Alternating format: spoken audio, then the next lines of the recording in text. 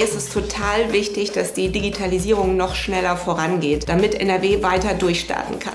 Es muss möglich sein, dass jeder Kfz-Antrag oder auch ein Bauantrag ganz schnell online abzuwickeln ist. Denn wir Firmen wollen leisten für unsere Kunden und darauf wollen wir uns konzentrieren. Im Bereich der Umwelttechnik sind deutsche Unternehmen weltweit führend. Damit das so bleibt, ist es wichtig, dass Umweltpolitik technologieoffen gestaltet wird. Wenn wir Raum für Innovationen haben, kann Nordrhein-Westfalen weiter durchstarten. Darüber hinaus aber benötigen wir sichere Energie. Als Familienunternehmen denken wir langfristig. Deswegen bilden wir aus und bieten zukunftsfähige Arbeitsplätze.